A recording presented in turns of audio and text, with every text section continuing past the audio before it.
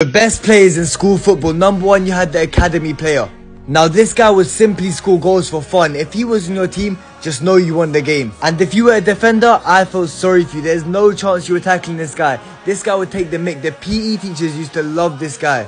Number two, the guy who was willing to go and goal. If it wasn't for this guy, your team would not have a goalkeeper. He would actually pull off some decent saves. Not to mention, this guy had no defenders helping him. He had to save all the 1v1s by himself. This guy was a legend.